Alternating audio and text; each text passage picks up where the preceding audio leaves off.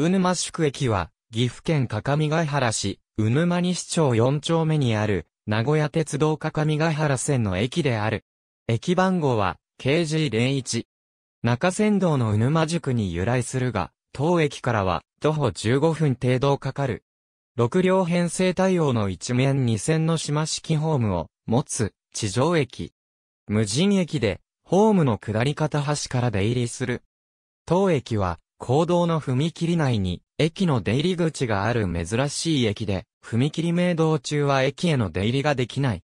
また JR 東海高山本線が当駅のすぐ北を通っているが、踏切は両車共用のため、高山本線列車が通過中にも、駅への出入りができないので注意が必要である。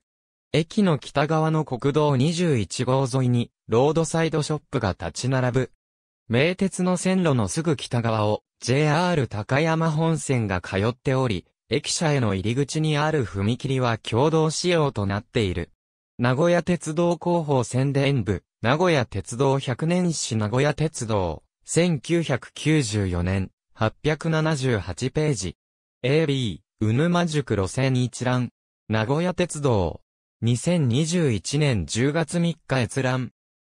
電気車研究会。鉄道ピクトリアル通関第816号2009年3月、臨時増刊号、特集名古屋鉄道、端末折り込み、名古屋鉄道廃線略図名鉄120年史、編纂委員会事務局、名鉄120年、近20年の歩み名古屋鉄道、2014年、160から162ページ。